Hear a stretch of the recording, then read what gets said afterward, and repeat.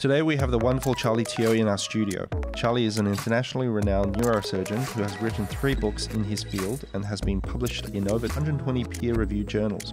Charlie is often considered a maverick in his field and often has been the focus of divisive opinions on his practices. However, he is most known for his willingness to give hope to many when there seems to be none. I'm so happy to have him on the show to share some of his experience in tenacity and perseverance. Please welcome Charlie Teo. Yeah, so, so thanks for uh, coming on board and uh, joining us today, uh, uh, Charlie. I've been a really big fan of yours for uh, for a long time, and of course, um, you've had a, a, a, an impact on my life through a friend of mine, uh, Andrea, who um, had a had a brain tumor, and um, no one would operate on him except for you and Aldo and Mina, the parents.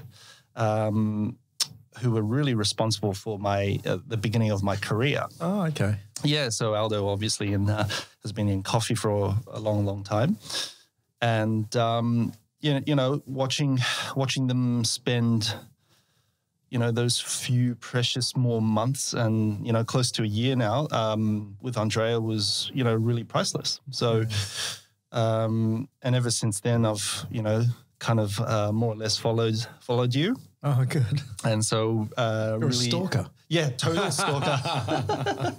no, and so uh, it's really, really amazing to have you on here. Um, I wanted to ask you actually, do you still, uh, before we start, do you still uh, have that Honda uh, 900 No, RR? I've got a uh, a bigger, faster bike. Oh, what are you yeah. riding now?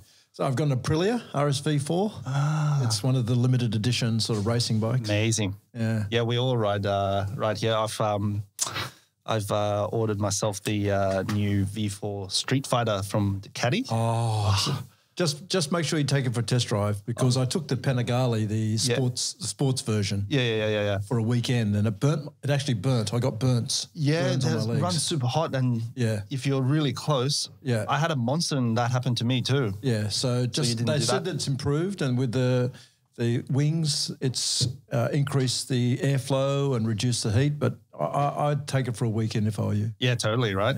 yeah. Yeah, right. Well, definitely do because remember the first V4 V4 was the Aprilia. So Yeah, it was too. yeah, yeah. Awesome. So, how long have you had that? I've had that probably two years now. Oh, nice. Still going fast?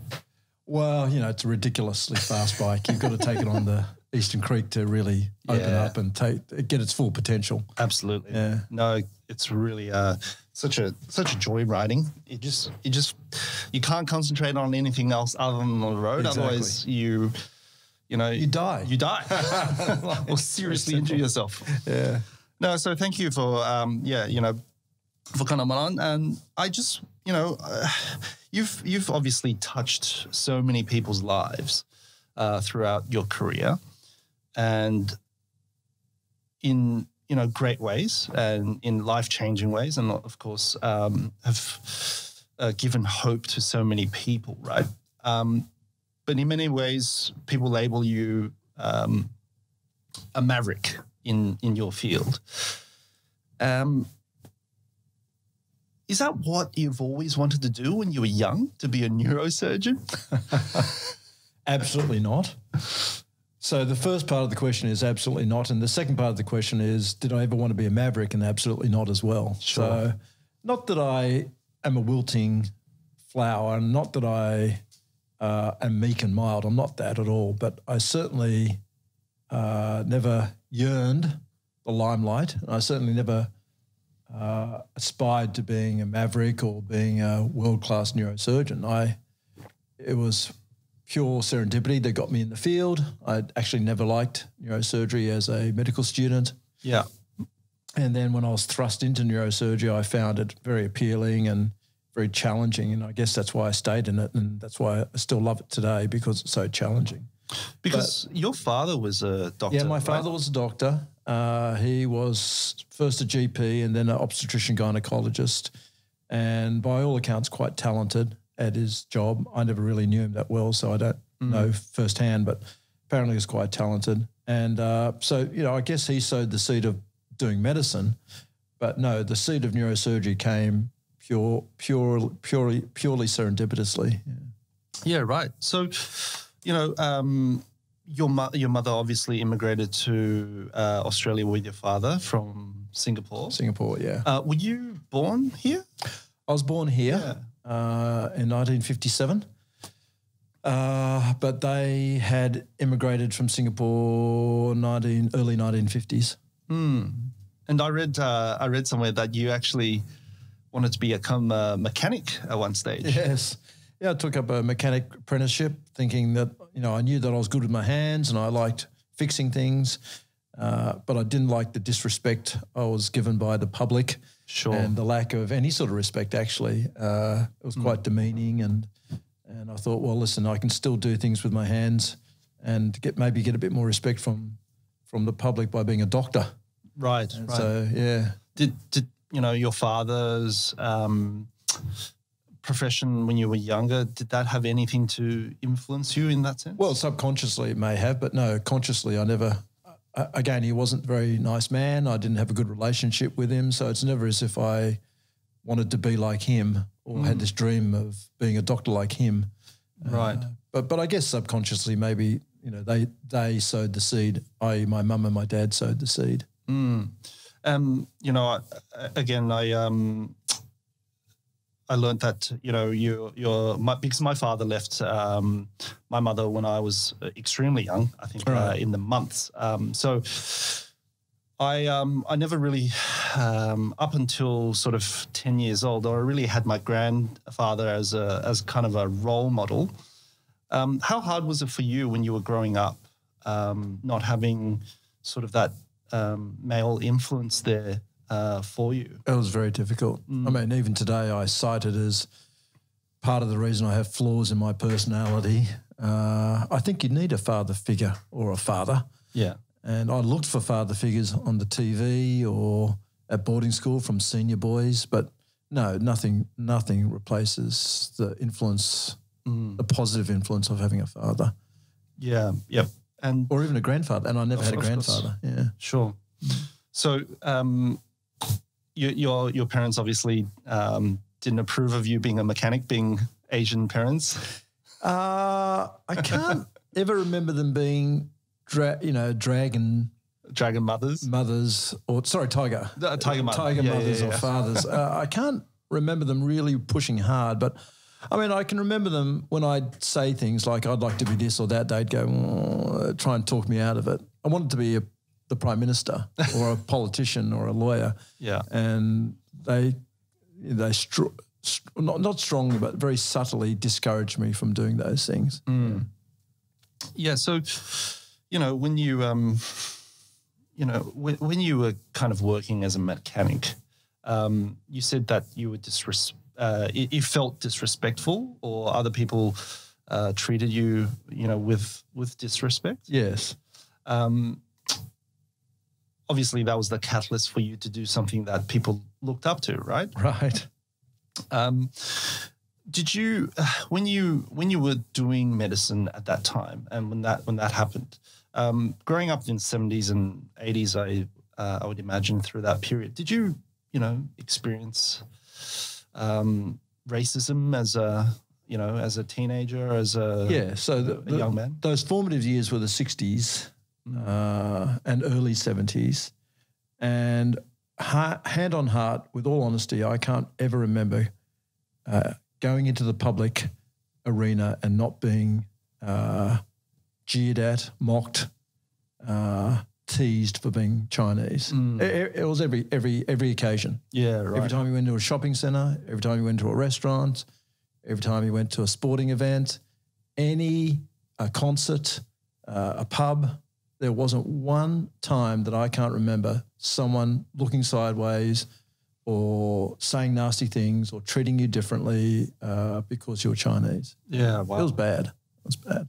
And, you know, and people who say there wasn't racism then or now, it's all well and good to say that if you're not Chinese, to say that there's no racism against Chinese, or that you- if you're not Middle Eastern, to say there's no racism against Muslims and Middle Eastern. And unless, unless you're one of them, you don't really know because sometimes it can be very, quite a covert and quite subtle. Absolutely. Other times, sure, it's quite overt and, and pretty nasty, but other times it can be quite subtle. And it's only if you are the brunt of it that you actually pick up on it. Yeah.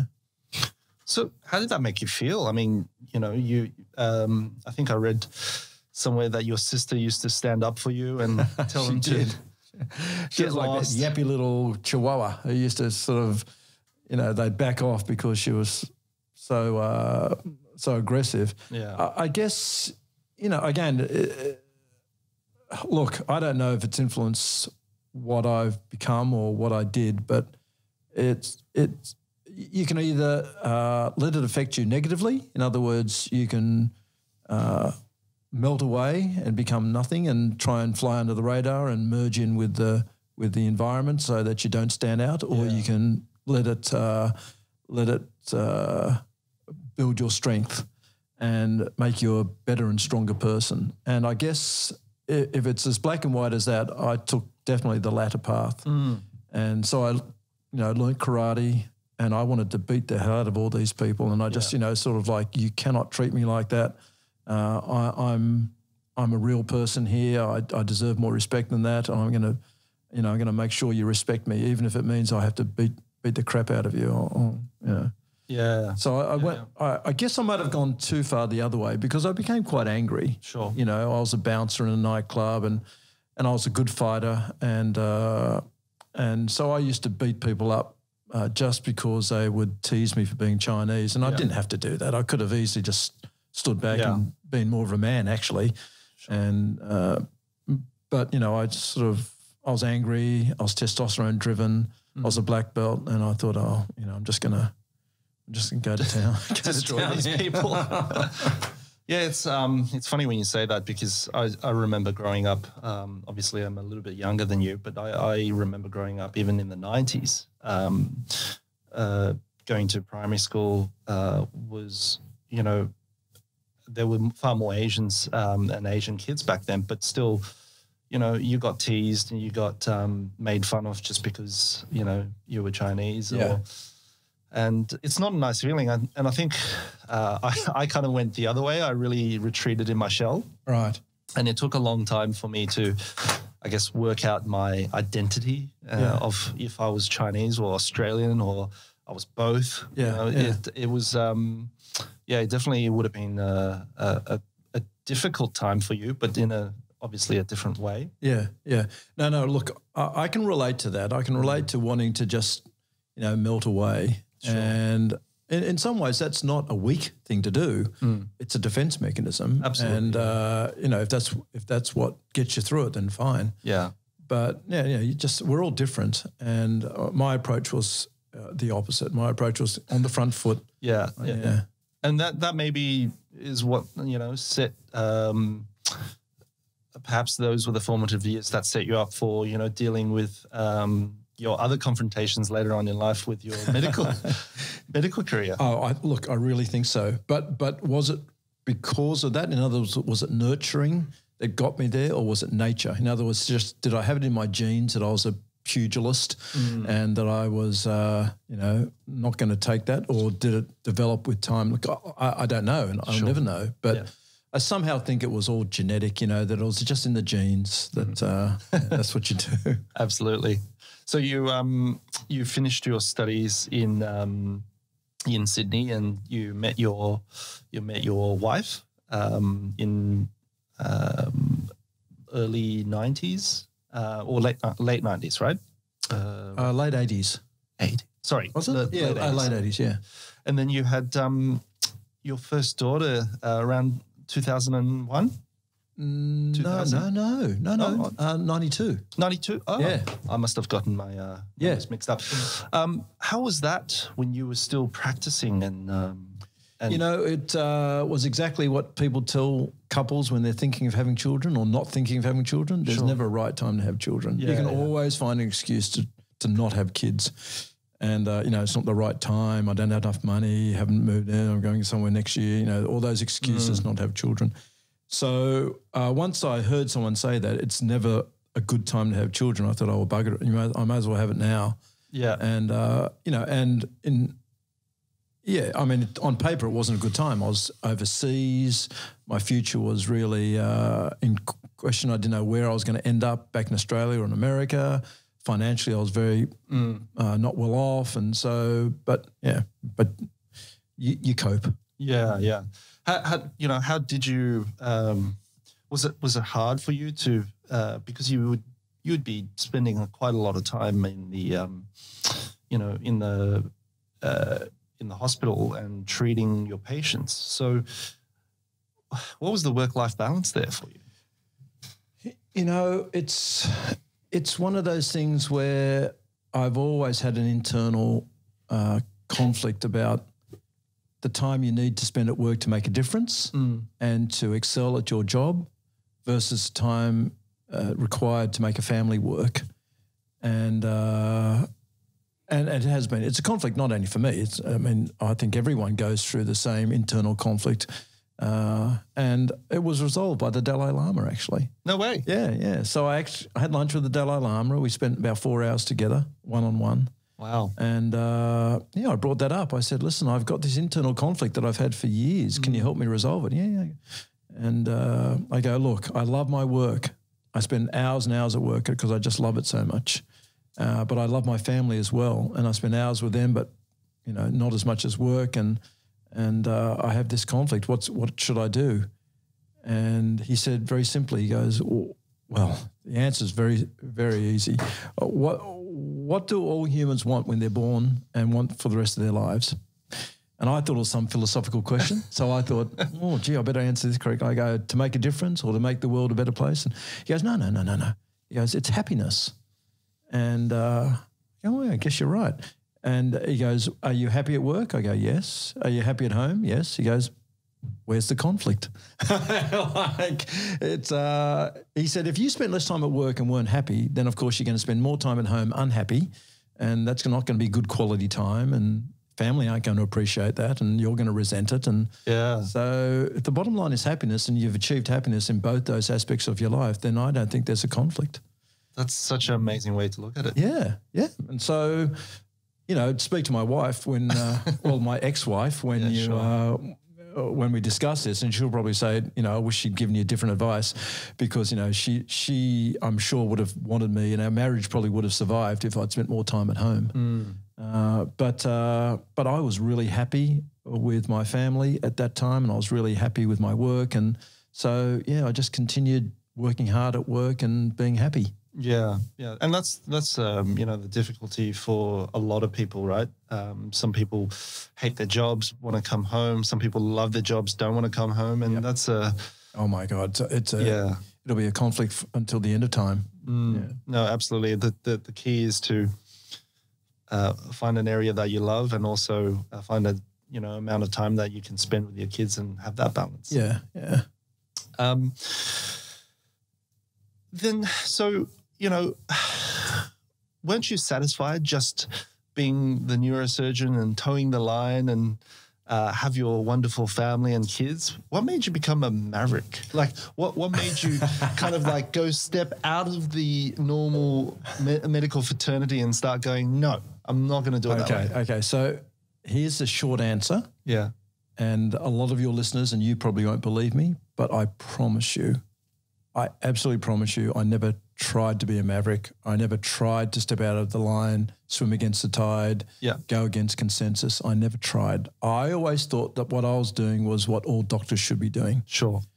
And so it turns out that, you know, I, not all doctors have the same approach as me, but but I didn't know that. Yeah. Uh, so again, it was just purely genetic driven. I mean, I just thought that all doctors should do the best they can for their patients. I thought that all doctors should keep an open mind to new things, try and push the envelope, uh, try and think outside the box, mm. uh, do all those things that would hopefully end up giving your patients the best result. And uh, so, all those other things that I've since found out should have influenced me if I wanted to be considered mainstream, like, you know, toeing the party line, giving the same opinion as someone else so yeah, you don't yeah. Uh, piss them off, uh, uh, going to MDTs, multidisciplinary team mm. meetings, and and playing the game and doing what the majority of people want you to do. You know, all those things that other doctors are very comfortable doing, uh, and they have very comfortable careers. Uh, never gelled with me. I just never thought that you should do that. I always mm. thought that you should put your patient's best interest first. Yeah. Uh, and you know, you, I guess I'm here doing this podcast because you pay a terrible price for it, but I never, I never thought I'd be paying a price for it. I never thought that I'd stand out in a crowd because I did it. I just thought I'd be the, just like everyone else. Mm. Yeah. Where, where did be, where did like what was the first moment that you know you kind of do you remember there if there was a first moment that you go, oh, I'm getting criticized for something that I'm doing? Yeah, there were two aha moments. One aha moment was I tried a new technique, a minimally invasive technique that I thought about and I learnt from a neurosurgeon in Germany mm-hmm. on a patient, and the outcome was fantastic. Sure. Minimally invasive approach to a, uh, a craniopharyngioma through an eyebrow approach, got all the tumor out. Patient did well, no scar, scar hidden in the eyebrow. So I thought I would show everyone this at a M&M meeting, a morbidity mortality meeting at uh, at the department that I was working at at the time, and I showed it, and I got nothing but criticism from the chairman saying what? that yeah, yeah, it was like, don't you ever do that again. He wouldn't let me do it again. It was just too left field. It was too out there, too too what he thought too dangerous to do, uh, and it. And I guess I never verbalized what was going on at the time, but I certainly thought to myself, "Oh, geez, that, that's a bit funny." But he's my chairman; I better listen to what he has to say.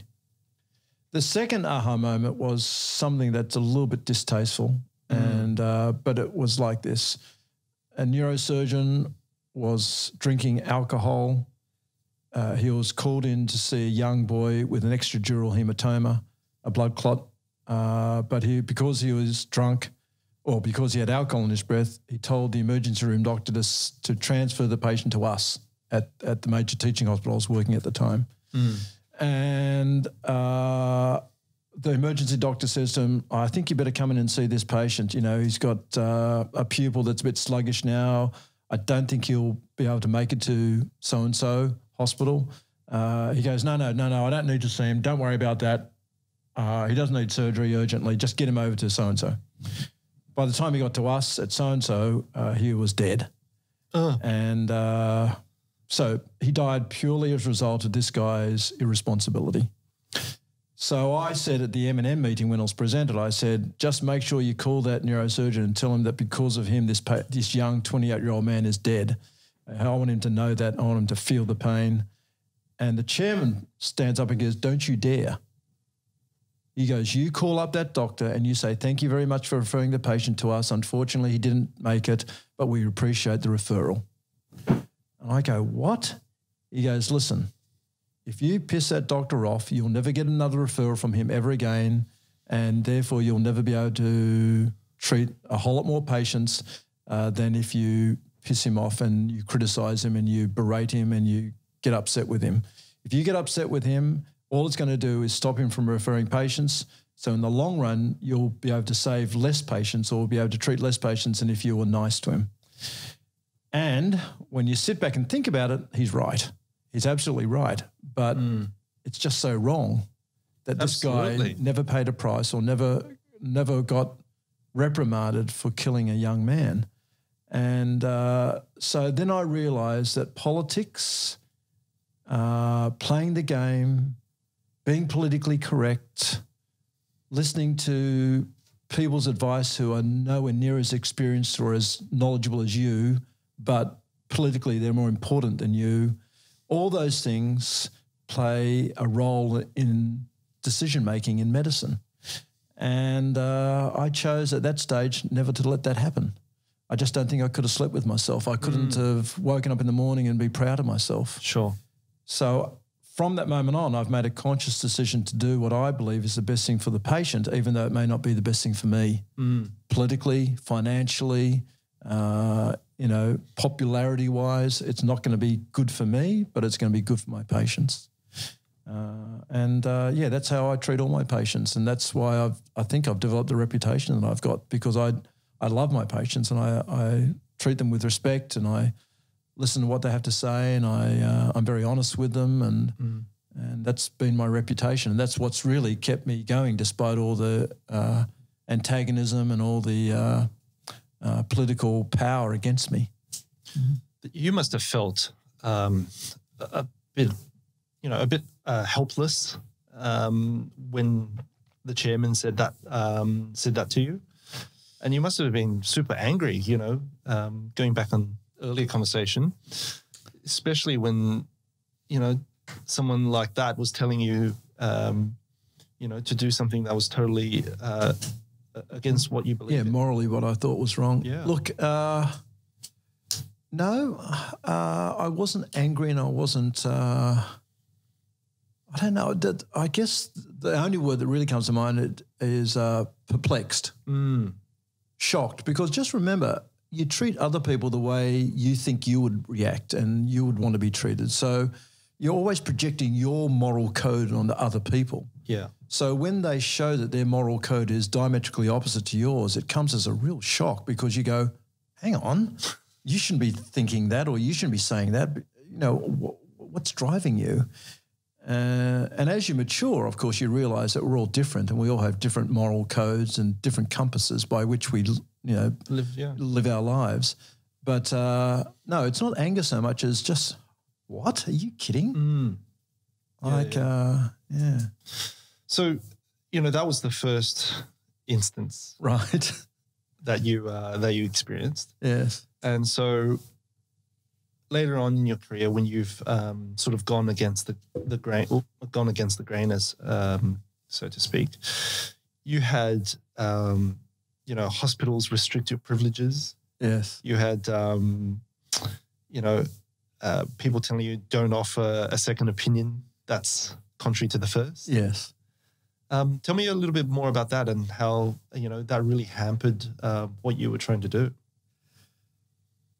Oh, look, Jack, it's. Uh, I, I'm not quite sure how much I can say because I'm currently embroiled in a fight now. I mean, I guess I can say because I'm embroiled in fights all the time, but uh, Without naming names or yeah, anything. without know. naming names, it. So uh, virtually every couple of weeks, uh, someone or some medical governing body, uh, and that someone is almost always a doctor, Yeah. has tried to derail my career, uh, besmirch my character, uh, destroy my reputation, uh, uh, deregister me, uh, and it's happening right now as we speak. Yeah. Uh, but it's no surprise because it's been happening for decades. Uh, and you know, the fact that you know about it means that I haven't been backward in coming forward about it. Sure. I mean, it's so unfair to me uh, that it's happening uh, that I just can't, I can't keep my mouth shut. And my lawyers have said, you know, keep your mouth shut, fly below the radar, don't mention anything. But you know, it's just so so unfair that uh, I just can't I can't hold back. It's my personality. I just I just uh, it's you know the world needs to know that it's just uh, a very unfair place. And again, I think that's the gist of why you're interviewing me because you know I think you want people to know that it hasn't been a smooth road and that there have been these hurdles all the way along it. Uh, and I guess my comment about that is that uh, in life there's always going to be hurdles, and you either jump them and use them as uh, stepping blocks to to gain greater heights, or you let them stop you. Yeah. and uh, you start you know you start sort of backing off Yeah. and running a different race. Uh, uh, it, it, it, oh God, I don't want to be negative, but it does take its toll, Yeah. I uh, I did imagine. and and the, the toll is such where you start then being very philosophical about it. You know, uh, you've got to start seeing this as not what people are doing to you, but what people are doing for you. And so, yes, they will win. I mean, I know it. I've said it in previous interviews. I'll say it now. Uh, my colleagues will win, and they will stop me from practicing medicine uh, and certainly practicing neurosurgery. But uh, I don't want to see it as them winning. I want to see it as them helping me move to the next, you know, stage of my life. Sure. Uh, uh, and and by doing that, I ho- hopefully it won't destroy me, the person, and I'll be stronger f- stronger for it. Yeah, um, I mean that's that's super super difficult and tough, especially in an industry where I I wouldn't imagine there's thousands of uh, hundreds of thousands of neurosurgeons. It would be a quite small field. How does it, you know, like uh, your colleagues' criticism of you or the board or whoever you may be, you know, all that shit talking they they say to you, does it get to you personally? Uh, of course it does. And again, when you do a superficial interview, just so you don't have to dwell on it, you say, oh, no, no, no, it's like water off duck's back. Mm. But no, of course it gets to you because, you know, they're trying to undermine your very nature, your very, the very essence of you. They're trying to say that, you know, at the moment they're trying to say some surgeries that I've done uh, should be considered futile. And the fact that I tried them and got bad results means that I shouldn't be allowed to practice, which is ri- ridiculous. I mean, it sounds ridiculous and it is ridiculous because – if we don't try new things and if we don't try and be more aggressive with cancer and if we don't try and uh, beat this disease, how are we going to ever make it any advances? Mm. And by trying new things, of course, some people are, you know, not going to do well. Absolutely. And of course, there are going to be some bad results, but such is the nature of making advances in mm. medicine. I think the most important thing is just to be honest with your patients and say, listen, you know you're going to die. I know you're going to die by all accounts, everyone's telling you you're going to die, but there's this operation that I think I might be able to do that might be able to help you. It may not, yeah. but I'm hoping it will. And uh, and uh, as you know, if they say I want it, yeah. and they they know the circumstances and the, the risks involved, then I think you should give them the respect that they deserve, and that is patient autonomy and, and listen to what they have to say. Do the operation. If it doesn't go well, most people, if it doesn't go well, go thank you, Charlie, for trying. We mm. knew the the risks, the yeah. risks, and it didn't work, but we're happy that we tried it. Uh, you know, some people are very unhappy, but uh, but most people are still very happy that you've done it. Yeah, it's not like you're going out there to absolutely do your worst. You know, people people for some reason think that oh, just because this patient uh, passed away because of your surgery technique or what what you've done, um, it's it's not like you went in there to purposely do that. The the intention's always No, but here's the problem. Remember what I said? You judge other people by the way you think. Sure. So these doctors do things for the wrong reasons. Mm, mm, mm. They're egomaniacs. They're trying to build up their own uh, uh, towers. Uh, they're trying to make money. Mm. Uh, they're trying to prove something to themselves. They're ego driven. Uh, they're arrogant. Then, of course, they're going to judge you by the way they do it. So, yeah you know, when Charlie Teo gets a bad result, ah, Charlie Teo is doing it for the money because yeah. that's the way they think, you know, or Charlie Teo is doing it to try and prove something because that's the way they think. Mm-hmm. Or Charlie Teo is doing it because he just wants the attention or, you know, he wants the glory. Well, that's, you know, that's the way they think. So you can't blame them for thinking that you did it for all the wrong reasons yeah, if that's what they would have done it for. So, mm-hmm. So when I'm accused by all these people for doing things for money or doing this or that, you know, I just kind of feel sorry for those people because obviously they they do things for money or else they wouldn't have even brought it up. Well, yeah, it's you know absolutely their projection. Right? Yeah, they're they're projecting their moral code onto me. Sure. Uh, and you know, if they ever see where I live, I just live in a very modest two bedroom apartment. Looks like a housing commission apartment. Mm. I ride a motorbike. I don't have a car. And I I just don't I, money doesn't drive me at all. Yeah, sure. And uh, and if they saw that, they'd go, "Oh, gee, maybe we've judged him incorrectly." Mm. But no, they, you know, they don't do that. They just shoot from the hip and go, "We need to destroy that guy because he's making us look bad." Yeah, yeah, yeah and, and you know, look, uh, when you said uh, patient autonomy, that's that's really important, right? Like, I mean, as I said earlier, you you um, you treated one of my uh, friends. Um, and it was it was just watching, you know, two parents absolutely helplessness. Uh, you know, they were just like, we can't do anything. We've tried everything, and no one would um, operate on him. Right. And so, um, and you came along and said, look, we can, but the chances are all we're doing is just prolong his life. And you were the only one that offered any kind of hope right? So in that essence, they did get, end up getting you know those um, extra months and extra uh, extra year to spend with uh, Andrea, and that was more than money could buy. Yeah. So when you um, you know, when you deal with uh, if there's a there's a quote that I want to read, um, not a quote, a, a letter that um, I found uh, from one of your speeches um, from a patient, and right. it was from uh, Keena's mother. He said, "I hope with all my might that you will not let us let us down. You are our only hope, and despite all the risks, you have my trust." At this stage, my only wish is to spend one last Christmas with Keena. I mean, I watched um, that uh, speech you gave at TEDx with uh, my partner, and because we have a young daughter of our own, we both really um, were quite emotional, and we we all uh, we, we looked at each other and said, "How can um, how can that not be the right thing to do?" Yes. Well, again, yeah. I wish you could.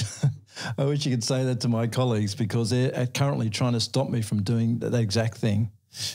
So there are two cases that I'm being uh, hauled over the coals for at the moment. Both of them were where I thought I was hoping to give two beautiful ladies just an extra bit of life or some quality of life before they died.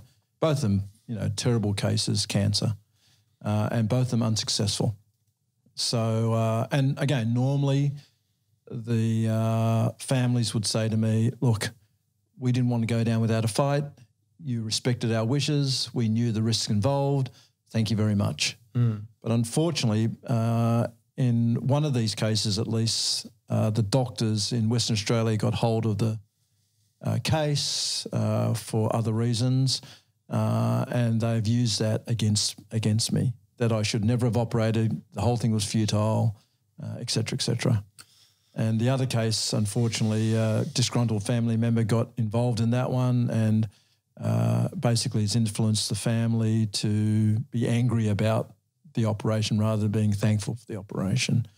Uh, I just wish they could understand. I wish both the ladies were still alive because they were beautiful people mm. and they didn't want to go down without a fight and they knew exactly the consequences of a good or a bad operation. Yeah. And they would be turning in their graves if they knew what was happening. Because if these two cases against me are successful, then you know I won't be able to practice anymore. And if I can't practice anymore, the number of people who are going to die, uh, who I know I could save and at least buy time for, mm. is you know the number is just uh, you know uh, you just cannot fathom the sort of uh, consequences it'll have.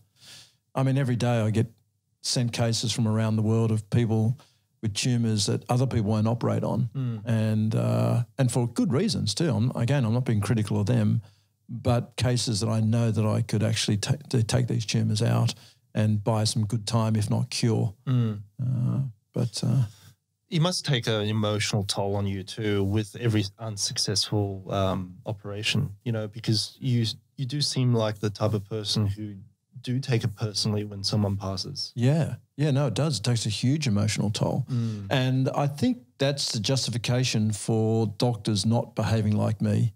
And that is, you know, wearing the white coat or the suits, sitting behind the desk, not looking at the patients, yeah. not calling them by their first name, not having them call them by their first name. And it's just ridiculous. Uh, well, it is and isn't. It's ridiculous because it's not the way I would like to be treated if I was a patient. Mm. Uh, the rationale for their behaviour, and I was told this uh, when I didn't pass my exam. The, my examiner sat me down and said, "Charlie, you've just got to stop being the sort of person you are. You'll never survive like that." And and again, he was trying to be helpful. He goes, "You know, if you keep," he said, "You've got to stop getting people to call you by your first name." And developing a relationship with your patients because if you keep doing that, it's going to take such a toll on you that you won't be able to keep it up for very long. Whereas if you separate yourself from your patients and maintain some sort of distance, then it's going to keep your professional career going longer. Yeah. And so, you know, I mean, there is some cred in that and there is some truth in that. Uh, again, it's not the way I want to practice and I, I would never consider doing it treating my patients in any other way except the way I treat them now. But uh, but I do understand why people do it. Mm. It's it's funny because you never hear them pra- sing your praises when you do have an op- uh, successful operation. No, no, never. You know, Uh, it's crazy. it's And- like, well, what what happened to the the the ones that no one wanted to the the you know the um yeah, uh, the cases that no one wanted to touch. yeah, yeah, and then yeah. they, uh, I remember you um, uh, saying that you treated a, you know, a patient that uh, no one wanted to touch, and everyone misdiagnosed, and he ended up being a malignant tumor that you took out, and they were healthy afterwards. So that person would have essentially died. Yeah, yeah, and I've published. I've published those. I've published all these cases of so-called inoperable tumours who that ended up being, you know, either uh, curable or certainly uh, treatable, and and buying people time. And so one of the criticisms of my colleagues is that you know, oh, he says he does this and does that, and everyone knows I do, or else I wouldn't have survived thirty years doing what I do. And you know, there's thousands of patients out there with great results, but they still say, "Oh no, he needs to publish." Well, you know, the ridiculous thing is, I've published uh, the second most publications out of any neurosurgeon in Australia, uh, and so they're all there showing all the good results, but they just refuse to either read them or believe them. But, Yeah. uh, but no, it's all published. It's all out there showing that these techniques are actually worthwhile techniques. And you know, if again, if they if they weren't worthwhile techniques, why would I get all the neurosurgeons from all the major universities in America wanting to come and learn my techniques? I mean, Johns Hopkins sent out their neurosurgeon to learn my technique. I've got the neurosurgeon from Yale at the moment, Harvard, Stanford, BNI, uh, Albert Einstein.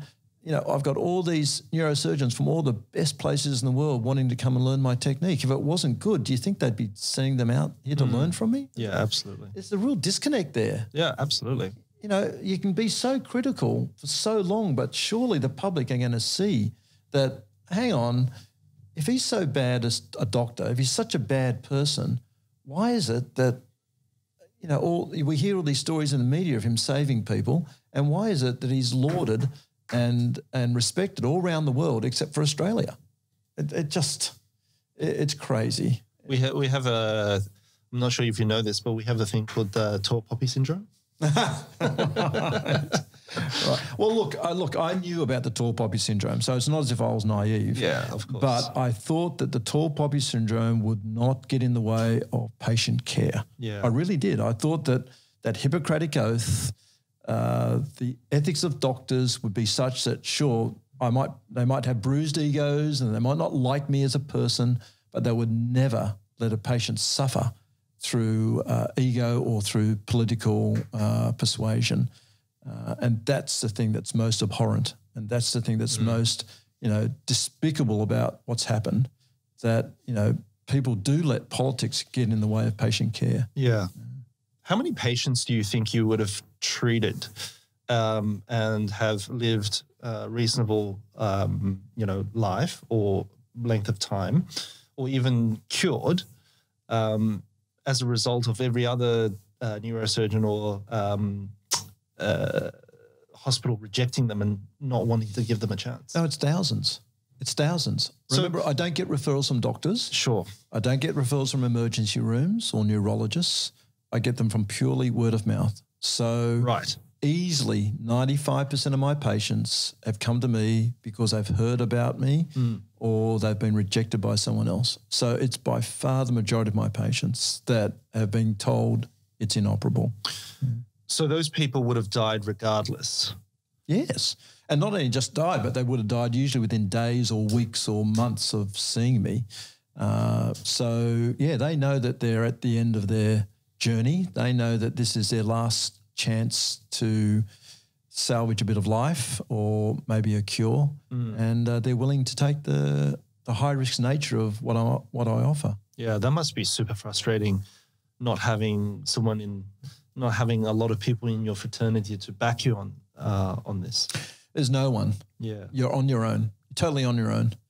And, you know, I've had some good friends call me up over the years saying, Charlie, you know, congratulations on what you're doing, but, you know, do you realize that if ever, anyone ever wants to sue you or if anyone wants to challenge you, you're not going to get support from anyone in Australia? And uh, they told me that to be kind to me and to try and sort of, I guess, get me to temper my my, my personality, but uh, uh, but they're absolutely right. Yeah, that's what's happened now. It's you know you, you're totally on your own when you're a uh, when you're a so-called maverick or when you're swimming mm. against the tide. You've got to understand that. Uh, and and again, I guess some in some way philosophically, I have understood that that I I, I have understood that eventually it's not going to be a happy ending. Uh, I wouldn't I wouldn't bet on the um, you know I wouldn't predict the future because you know yeah, but well it's not going to be a happy ending, not, not so much because they might win, but because emotionally it'll just take its toll. It, it was just neurosurgery. I could keep doing this for years. Sure. I love it. I'm good at it. I'm trained at it. I, have got 11,000 cases under my belt. You know, uh, I've got a great support team around me in terms of my nurses and my staff uh, and my family. Uh, but no, it's the politics. The politics takes its toll. So, um, you know, why why do you keep on putting yourself out there uh, in the media or in the public eye as per se? Uh, I guess initially it was because every time I made some appearance on the media, people would hear about me, and then I'd get referrals, and then I'd be able to save lives. Yeah. So I used to justify it by saying, "Look, I don't, I don't uh, seduce the media." But yes, you're absolutely right. I could always reject the media, and I didn't. Mm. So I've got to take responsibility for the fact that I have a media profile. Uh, so tell me the reasons why you have it. And again, I used to be able to say, well, it's because I get I get patients, and it raises awareness. And then there came a time where I was trying to raise money for brain cancer research. Yes. And so again, the more media exposure I got, the more uh, donations we'd get to the foundation. Yeah. Yeah. Uh, and then there came a time where uh, I don't know. I just uh, I wanted the public to know that uh, I appreciated them, mm. and I appreciate their support. Uh, sure. But I guess in some ways I wanted to make sure they understood the journey I was going through as well. Yep. And now, why did I just why did I uh, agree to do this interview with you? I think it's for different reasons now. I think it's because uh, I'd like to leave a legacy. Yeah. And if the legacy can't be the lives that I've saved or the changes I've made in neurosurgery, at least let it be that, you know, people like me out there who are doing it hard, uh, uh, my strong recommendation is that uh, as long as it's for the greater good, then at least you're going to be able to be comfortable with yourself and at least you can be proud of yourself and your children will be proud of you. Absolutely. Uh, and what, what is the greater good? I mean, the greater good is basically where uh, more than you, uh, the, the most people are going to benefit from what you've done. It's not just you or your family or your neighbor, but it's the majority of people are going to benefit from what you've done. So I'd like people to know that, you know, take the high road, think about the greater good. Try not to think about your own survival, uh, and uh, and in the long run, uh, you can be very comfortable and very happy with your life. Uh, Absolutely, that you've made something of it. Well, that's that's extremely inspiring, and also a huge amount of tenacity from from your side. Oh my God, you need so much tenacity. You know, yeah, you know, yeah. you need to. Uh, oh it was like uh, I went through a midlife crisis where I decided to be a mountain climber, and uh, yeah, I, I Are those people did, nuts. Uh, oh, it's crazy! It's crazy. I went and did uh, Chimborazo and Cotopaxi, wow, Ecuador, and uh, look, I don't know if you've ever done, ever done mountain climbing, but there comes a time where you are just totally spent. Yeah, you've got no oxygen, no energy, you're tired you you you've got diarrhea because you're in a different country, you're cold, yeah, your hands yeah. are frozen, and it's like, oh my god, how do you keep going? And it's that whole that old story. Just take one step, step at, a time. time. Yeah, and one step takes you about five to ten seconds because you've got you're puffing and panting. But then you've got to take another step, and you know, just one step at a time, and you eventually get to the top of the yeah. mountain. And that's what it's been like. It's it's been like that. It's been you know constant battles, constant hurdles to jump over, uh, constant acrimony and criticism and vilification and vexatious complaints by uh, by basically the medical fraternity. Uh, but you know, one step at a time, one step at a time, and, uh, and eventually you'll make it. Yeah, I mean, speaking of tenacity, that the, there was a great story that you told uh, with a patient of yours that um, that you operated on that lost a lot of blood in you know 40 minutes. And after six hours you still haven't even touched the, the tumor. Yeah. and all your supporting staff including your anesthetist basically said you know time charlie to yeah. time to give up. Yeah. What did you say to them? Uh get started yeah, so that case is i gave another ted talk talking about tenacity and uh yeah that uh I, I actually have a PowerPoint presentation called my my most difficult case. And uh, so I'll never forget it, of course. It's by far the most difficult case I've ever done. A young girl, university student, dying on the table, three or four cardiac arrests, uh, you know, runners running back and forth to the blood bank, 30 people in the room, uh, you know, pumping a chest. Uh, and then the tumor was still in, it couldn't get it out and everyone looking at me going, Charlie, just give up, just give up. And uh, you know what I did? I just thought to myself, what is that if that was my daughter mm. on the table? And that's what I do with all my patients. I think, you know, what if that was my wife, or well, that was what if that was my mother, or my daughter, or my son, or my father? Uh, how would I want the surgeon to treat that person? Uh, and that's what I did with her. I thought, no, I'm not going to give up. Not, it was three o'clock in the morning. I've been operating since nine uh, at night mm. because there was an emergency. Uh, blood was just going everywhere. Everyone was tired. I'd called in two other neurosurgeons to help me. And uh, yeah, no, I just kept going and going. And eventually, uh, yeah, eventually she, she actually left the hospital about five days after surgery. Wow. It was crazy. Wow. yeah. yeah. She didn't realize, I don't think she ever realized how uh, close to death she was. Is she um is she still alive today? yeah, today? still alive wow. and uh, paralyzed, but she was paralyzed before she had the surgery. Sure. And uh, that's amazing. Yeah.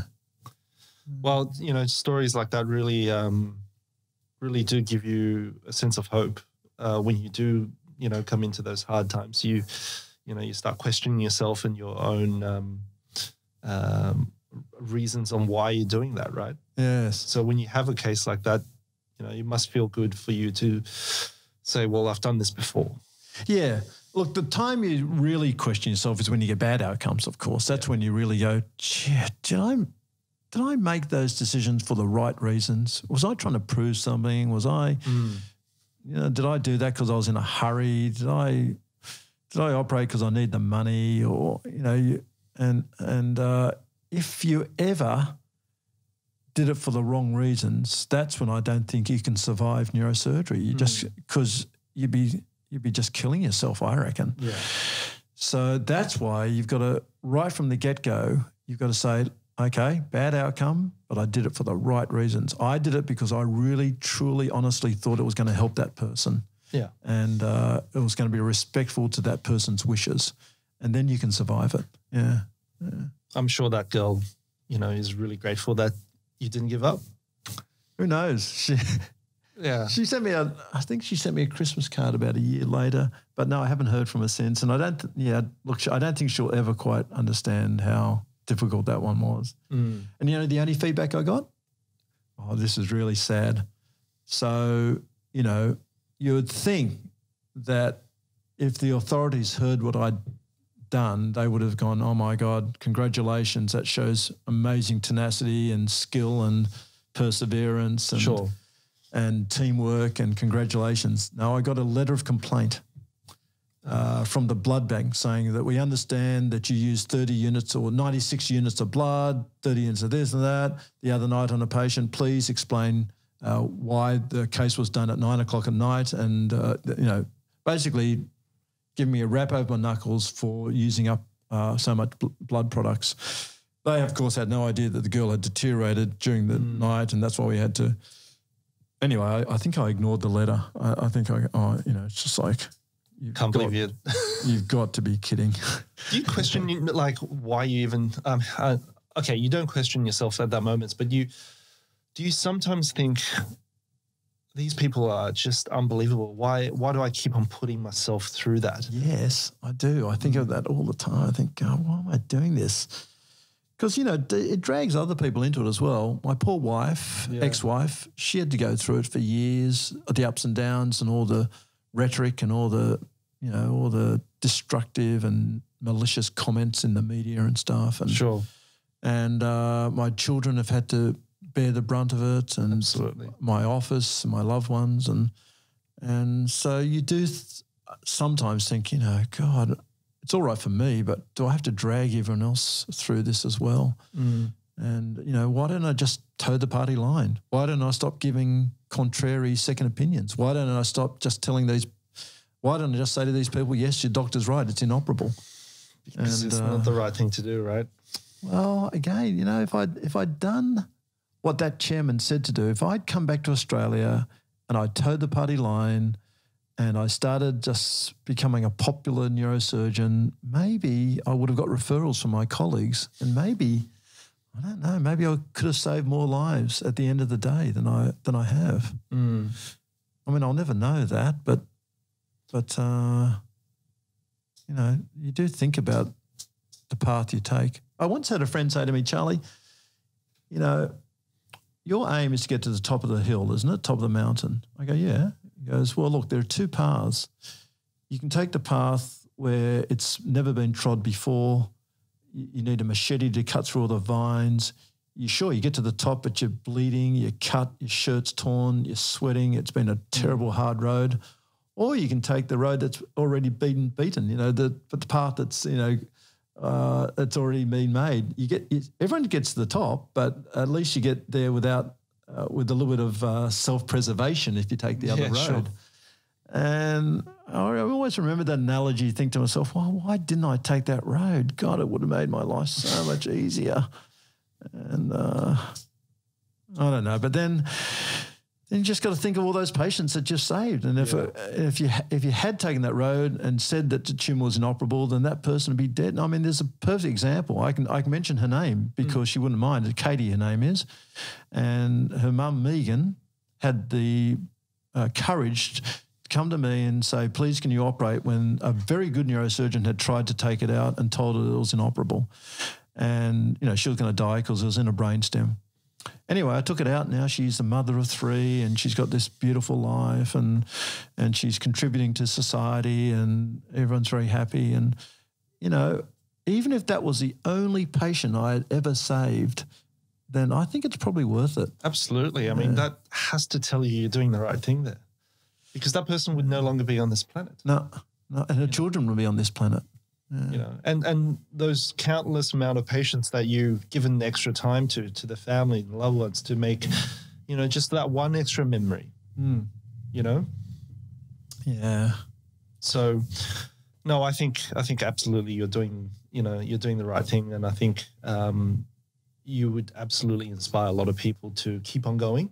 Yeah. Um, and you obviously started in 2018. You obviously started your new uh, foundation. Yes, yes, I'm very um, happy about. It. But again, under a controversial sort of yeah, cloud. under controversial cloud. Um, but you know, um, and again, I didn't try and yeah. be controversial about that. I, sure. I, mean, I was just honest. Mm. I was just honest. I mean, the, the, people in my last foundation are good people. You know, they're not dishonest people, but I just didn't like the way it was being done. I just didn't like the amount of money it was costing to run the charity. You said sixty something. Sixty-eight percent. Sixty-eight percent were the overheads, uh, and higher now.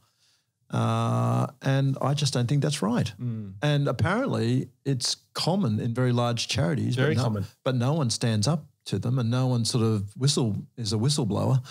Uh, everyone sort of accepts it as you know the norm. But I don't think we should as a, as a society. I don't think if you donate a dollar to a charity, you would hope that at least 80 cents of that dollar goes to the Never actual the cause. Case. Yeah. And that's not the case. No. It's not the case. So it's it's funny because uh, charities as a whole, people who uh, are attracted to working for charities are people who want to do good in the world. Yes. I, I, generally believe that. Yes, I but, do too. But unfortunately, um, many of them don't have the business acumen to run it lean and to actually make a difference. Yes. So what ends up happening is a lot of these charities get sucked up um, with uh, its resources by doing things or adding new people because they might need. So it becomes a whole clusterfuck Yeah. of uh, incompetence in management Yeah, yeah, poor management. poor management. And I think um, someone like Bill Gates, with uh, you know his um, Bill Gates Foundation, Yes. is driven and run by him, Right. which makes a huge difference in you know treating malaria and you know uh, grant, giving grants to certain research institutions. I think that makes a much bigger difference if it's run, you know, more or less as an organization in that in that Yeah. way, right? Yeah, absolutely. So, So- I pledged, I pledged to the public that I would run lean. We'd uh, utilize volunteerism. We would uh, be transparent so that uh, our followers would know exactly, and we wouldn't spin it because you know that's the trouble. A lot of the large charities spin it so that you can't tell how much money is going to Yeah. admin and how much is going to the cause.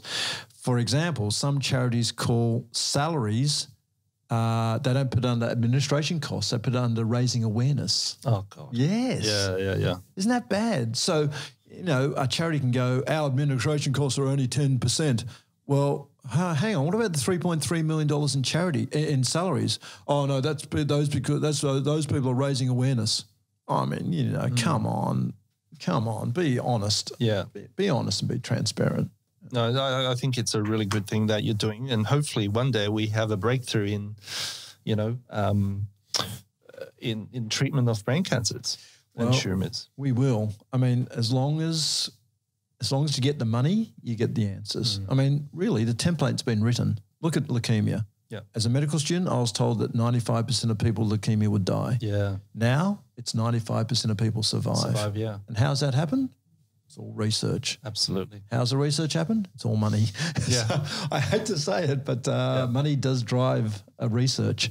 Hmm. And uh, so if you donate enough money, then you will get uh, answers. And that's what we're hoping, you know. Yeah, and of course, um, you know, later on in 2018, things started to not go. Um, shall we say the way that uh, in your life, not the way that you Right. wanted. Um, you mentioned that you split up with your wife. Um, That was in late 2018. Yeah, uh, 2018. early. Early Uh, 2000. or yeah, 2000, yeah, sometime. That must have been um, that must have been tough as well for someone who Oh, was, it was uh, very, it was very tough, very sad because you know that was always my rock, Yeah. my family, and you know with all the politics of work and people trying to destroy me at work, at least I could go home and go, well, fuck them. At least I've got a beautiful family who support me, and so when my family broke up, mostly because of me, uh, you know, it's you lose that rock and you lose that sort of foundation and the anchor.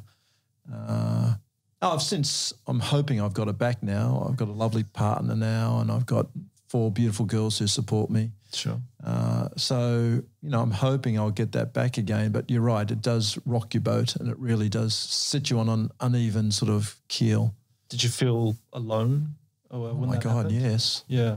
Oh, totally alone. Yeah, Genevieve was my uh, 100% ally. You know, I can never be critical of her for that. She was an ally through and through. She was always there to support me. Uh, yeah, and I lost that. Yeah. Yeah. That must have been real, t- uh, really, really tough for you to, um, you know, um, continue with uh, battling the uh, the you know the medical fraternity and the people that are against you. Yeah. Oh, yeah. And then, and of course, in 2019, things really took a turn for you. Oh, my God. Don't even Um, talk about that. It was just Oh, terrible. I'm gonna have to bring some stuff up, and I, I want I want you to share some of the, um, you know, uh, you know those tough moments and how you Right. how you deal How you with deal that. with it. Yeah.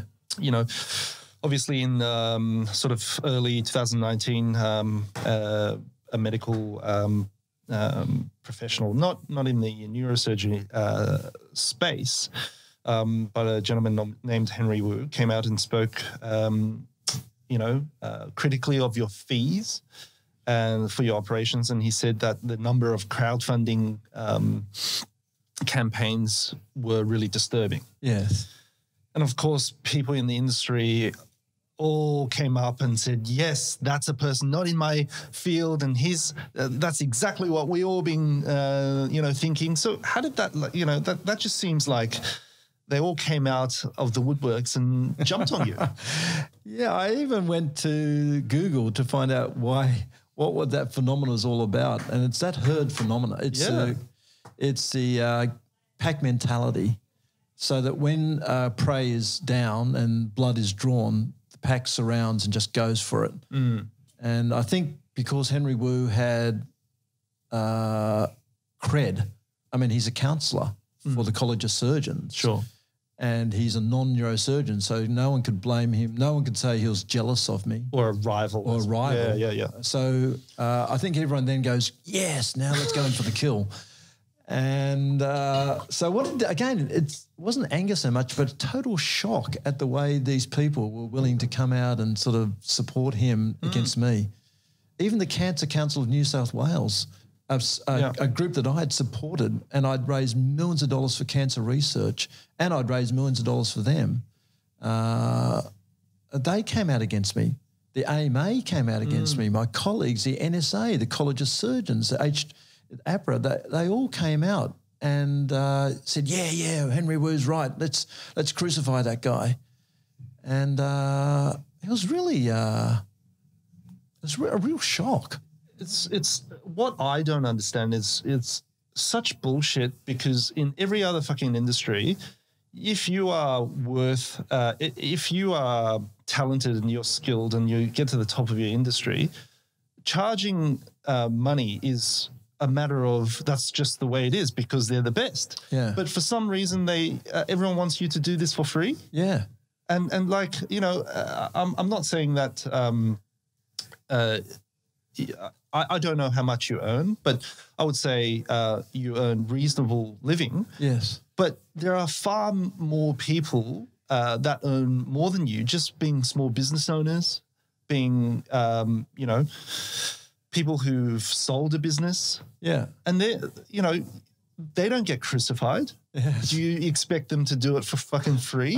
do you expect Roger Federer to play for free? Like, I don't understand this mentality. Like, why why is it all of a sudden that you have to then dis- disclose and then uh, and charge no money for it? Yeah, I know, I know. Why don't the other surgeons go and operate on these fuckers? Yeah, You know, like, oh God.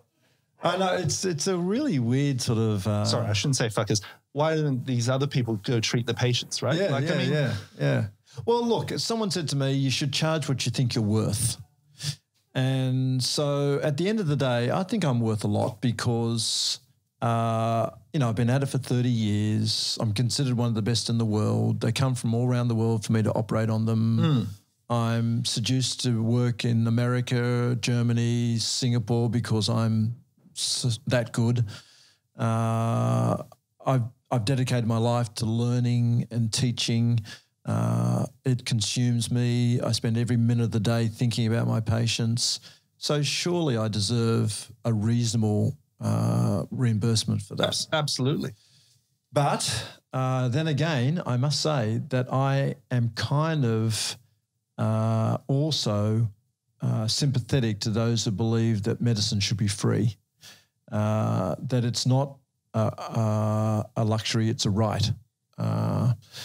And in the ideal world, I absolutely would operate in a free setting uh, and give my talents to poor people as well, if I could. And that's that is the worst thing about this whole campaign against me, and that is that it's always about he should do it in the public hospital, he should do it free in the public hospital, it should be done at Sydney Children's Hospital where he has operating rights. I do not have a public hospital appointment, period. I do not have operating rights at Sydney Children's Hospital. And so all the rhetoric is all, it was all false. So, you know, uh, that whole thing about Henry Wu saying it should be done in the public system because he's got privileges in the public system. I do not have privileges. And not only don't I have privileges, but for the last 30 years, I've been telling my public patients from interstate, I will do your operation for free if you can get a neurosurgeon to invite me to your state to do it. And and you ask my staff, you ask my patients, you ask all my fellows who sit in on every consultation, and they will tell you that I make that offer to any public patient from any state uh, that I will If you pay for my airfare and my accommodation, I will fly to your state. I will do your operation free of charge. Hmm. And have I ever been invited? Never. There's See- only been one neurosurgeon who's invited me from West Westmead Children's Hospital to do it free there. And he's a very nice man. Uh, in fact, I'd love to give him a plug. His name is Mark Dexter. And Mark Dexter had the courage and the goodwill to say, Charlie, I'm going to drop all the politics. You're good at this particular case. I want you to come to Westmead. I'm going to invite you. I'm going to take responsibility for it. I'll look after the patients when you leave because I want the best thing for this patient. And what did I do? I went out there. I paid my own way out there to Westmead. I paid for my own parking. I didn't get paid a cent. And I operated free of charge on that patient with a good outcome. And that's the way it, I've wanted it to be since my return from America to Australia. And Mark Dexter's the only neurosurgeon ever to invite me uh, to operate in a public system. God, that must be so frustrating that no one talks about this. No one talks about that. No one talks about that. Well, hopefully, some viewers and listeners can actually hear this. Yeah, yeah. But again, you know, every doctor hates me. And so, you know, it's crazy. Someone invited me the other day to I paddle, I kayak. And she goes, Oh, I've got a group of friends who do go kayaking every morning. Uh, maybe you want to kayak with them. I go, oh, I'd love to. So she goes to them, Oh, my friend Charlie Teo, he's a kayaker. He'd love to kayak with you. Charlie Teo, and there were three doctors in the group. No way. You know, he's this, he's that, he's a money hungry. And they've never and met me. And they're not? No, I didn't say that. You said that. but they have never met me. And so they judge, everyone judges me based on what they hear, you know, second hand or third hand. And Yeah. actually, some people even judge me after they meet me. So maybe I'm not such a nice person after all. But yeah, I've even had people who've met me and go, oh, yeah, right. And, uh, but it's always doctors, just doctors. Yeah. So that's um yeah, I mean that that must be super frustrating to some degree. Yeah. a- Yeah, and- that whole media thing and that Henry Wu thing. Oh my God, Henry! Just you know, I don't mm. even know Henry. I, you know, Mm. Sure, sure. he's probably a lovely guy, but he just got this bee in his bonnet, and mm. he's listened. You know, I- I think he's listened to everyone else because he doesn't know me. Mm, so he must have heard other people talking about me Yeah, I or mean, something, and it's by osmosis, right? Yeah, and even Kate McClymont, who wrote all those terrible articles in the Sydney Morning Herald, I don't blame her either because someone's, she said she interviewed 14 neurosurgeons and all 14 neurosurgeons would have said terrible things about me. So all she did, I guess, was report what she'd heard about me. I mean, you just bring that up. Um, later on that year, she, re- you know, um, released that article in the Sydney Morning Herald. Um, you know that uh, she, you did, you know, you were uh, behaved in certain ways that it was inappropriate. Yeah. And then she obviously brought up uh, the Henry Wu thing again, and also, you know, mentioned you with um, your previous charity with Mick Gatto. Um, Oh my gosh, you know, she went was- for she, went for the She went to town. she went to town. And not once did I read that in an article you happened to save lives yes. or that you had a charity foundation that were contributing to, you know, Brain cancer research, brain, yeah. Yeah. brain, brain cancer research. yeah. Yeah. Yeah. Yeah, she really uh, went to town. I mean, God, those, those things must have, um, you know, uh, Well, I think again, it's shock. yeah, uh, rather than anger, it was, it was like, hang on, like she accused me, or she was, hang on. So someone accused me of using my power to gain sexual favors from a female resident. Mm. Okay. So this is the only thing that really irks me. I've never had a female resident. right. I, I, I- no resident in neurosurgery has been allowed to rotate through my service.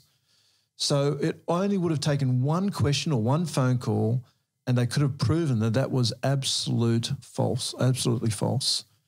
So sure, if I'd had some female residents and I'd try and you know, and I'd told dirty jokes to them or something, I I think I could have understand how it could have been twisted. Mm-hmm. But I've never had a female resident. Mm. I've had three female fellows from overseas who've got nothing to do with Australia or the public system. And, you know, they could have easily asked those three doctors if I'd ever been inappropriate. And, uh, but no, no. So that's the thing that really shocked me that someone can publish a, pu- a pure lie mm. and get away with it. Yeah. Well, now you're going to get skewed for not having female residents. No, I'd love to. I'd love them. Yeah, the, I would love to teach Australian neurosurgeons my technique. Yeah, no, I- male I- or female. I absolutely understand, but uh, you know the way that um, the media is at the moment, you know. Uh, no, no, but ne- what I mean by that, be- no, I've never even had a male resident. oh, sure, sure. Yeah. I've never had a female or male resident rotate from the neurosurgical service in my operating room or Right. in my service. They're, Okay, they're right. not allowed to come over and work Sure. with me. Yeah. Um, So male or female. Yeah. Yeah, I mean, um, the fallout of that was pretty, you know, rough because it wasn't just one thing; it was really an expose, uh, expose on Yeah. all these other things. Yes. And you know, you really basically had to, you know, pick up a baseball bat and swat away all those um, all those allegations and all those um, things that was said about you. I mean, it sounded like you didn't even really have time to, you know, process all that, and then Yeah, look, I didn't quite understand or appreciate the enormity of those negative articles. What's since happened is the Singapore Medical Council has got wind of it and they've put my license on hold, uh, which means, you know, I know of several children who have died uh, because I haven't been able to go to Singapore to operate on them. Uh, America uh, got hold of it as well, and I know that my license has been put on hold over there as well. Uh, so that means, you know, look, I, look, I don't know how to philosophically get around it or try and feel comfortable with it, but as long as those people know that their actions have resulted in the death of many, many children because of uh, because of the fallout of those negative articles. If that's their intention, well, congratulations. If you wanted kids to die, then that's what's happened. Uh, now, look, I know, and again, philosophically, I know that there are people out there who never come to see me. I can't operate on them, so the people are going to die anyway. sure, Uh, so you can't save everyone, if you if you know what I mean. And uh, so you know, I can't save everyone, and now I can't save people that I know I could have saved if I had uh, if those negative articles hadn't come out. But those people have to please at least accept that what you've done has resulted in the death of many children. That's you know that's extremely sad. It is very sad. It's really sad. It is very sad. But you know, maybe that was their intention. So if that's their intentions and they get paid a good salary for it, then so be it. You know, there are, uh, you know, that great philosopher, what's her name? Uh, Taylor Swift. She goes, uh, you know, haters are going to hate. Yeah. Haters going to hate. Yeah, they're always going to hate. You know, that's there's true. always going to be haters and they're always going to hate. What's your coping mechanism for stuff like this? Like, I mean, when you when you go through a bad operation, or when you go through a another group of uh, medical professionals having a go at you, or the media having a go at you, or your daughter experiencing this, or your, you know, like, what's what's your uh, what's your vice? You know, like you you mentioned kayaking and obviously motorbiking. It is. And I think the thing that really keeps me going is my patients. Sure. believe it or not, because at the end of the day, I don't have brain cancer. I, I, it almost sounds trite, but it isn't because, and I know, I know it sounds awfully cliche, but when you've got your health, uh, and even when you don't have your health, you've always got to try and remember there's someone worse off than you. Yeah. And so, yes, no, it's been really hard. The last 12 months has been, oh my God, most people would have, I think, jumped off the gap, or most people would have been depressed, or, you know, but, you know, I'm still a happy person. I mean, I wake up every day, and once I get over all the turmoil I'm thinking about, once I actually get into the swing of the day, I'm, I start to appreciate that my life isn't as bad as it was when I was lying in bed thinking about it this morning mm. because you know I've just talked to a mother whose eight-year-old child is dying of brain cancer. So how dare I even think that my life is bad? Uh, and even if I had brain cancer, you know, there's other people who would be worse off than me. So I don't know. It's just. Uh, yeah, you've got you've got to almost consciously be uh, be reminding yourself of that. It's not a subconscious thing. It's you know I actually physically find myself telling myself, Charlie, you don't have brain cancer. Yeah. You know, please try not to you know worry about you know the mounting legal costs and the and the fights that you're having to fight and the HCCC and APRA and College of Surgeons and this and that after you. Don't you know, it's, it's just, you know, it's it's it's all part of life. Mm. I guess in your line of work, you really do have a check on your perspective when you look at a patient yes. and then you look at your own life, even though it might be in turmoil. There's someone who's about yeah. to lose their life. Yeah, yeah. There, I've always said there are two, two. There's one good thing and one bad thing about dealing with death and dying every day. The good thing is that it puts things in perspective, and the bad thing is that it puts things out of perspective.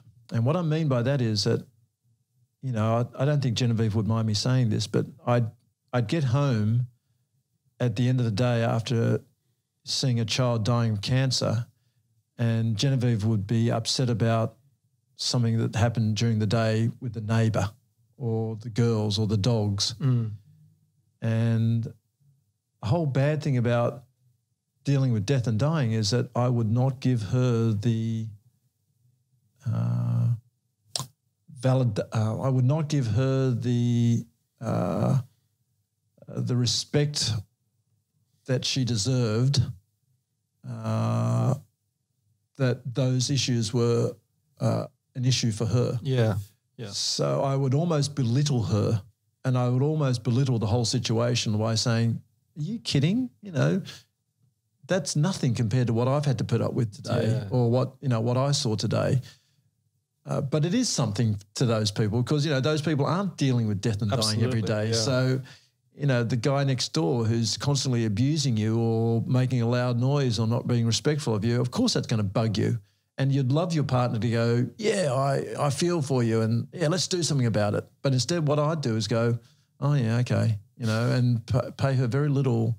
Uh, acknowledgement mm. of the effect it was having on her. So that's the bad side of dealing with death and dying. It it it puts things in such perspective that you don't understand other people's lack of perspective. Yeah, yeah, yeah. That must. Uh, I mean, that's that's the basis of all relationship arguments, right? You know, you don't see things from her perspective, yes. and she doesn't things uh, see things from your perspective. Yeah, I yeah. guess yours is just on the extreme end of mm. that it is extreme. Anyone who's dealing with those, you know, with oncology or cancer, uh, you know, it really, uh, yeah. Oh my God, it just it's a real awakening. That mm-hmm. life is just so fragile that you have to uh, take every day as it comes, and you have to appreciate what you've got rather than what you don't have. Absolutely. Yeah.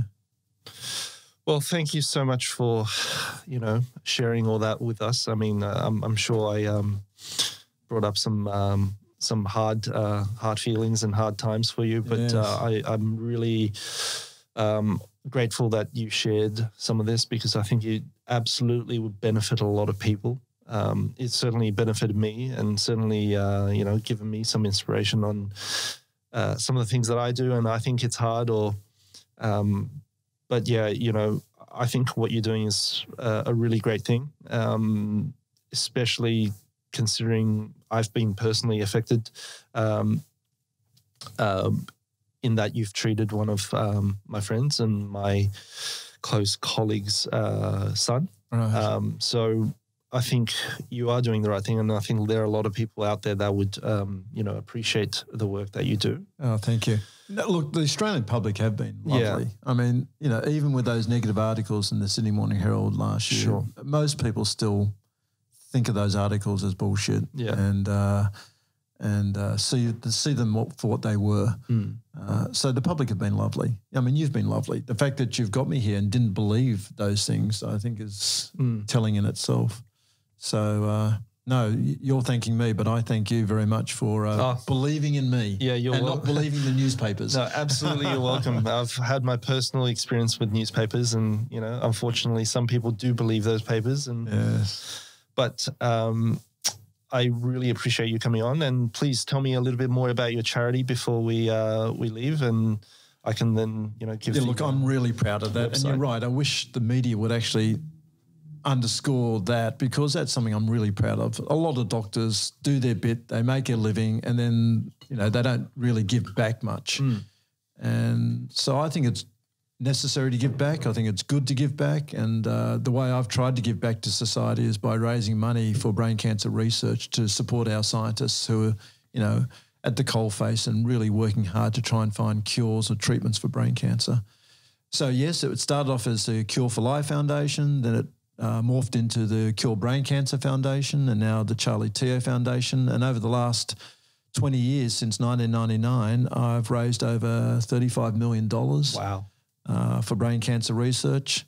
Uh, and uh, the Charlie Teo Foundation is a foundation I'd love a lot of people to support. Why? Because even if you haven't been touched by brain cancer, if you want to support a charity that where you know exactly where your money's going, mm. that it's not being wasted, uh, and uh, that we are funding uh, not standard old scientists. We are trying to find uh, the disruptive thinkers, the people who think outside the box and who are willing to sort of swim against the tide. Mm. they're the people that we believe are going to find, well, may accelerate the, the, the finding of a cure or, or treatments.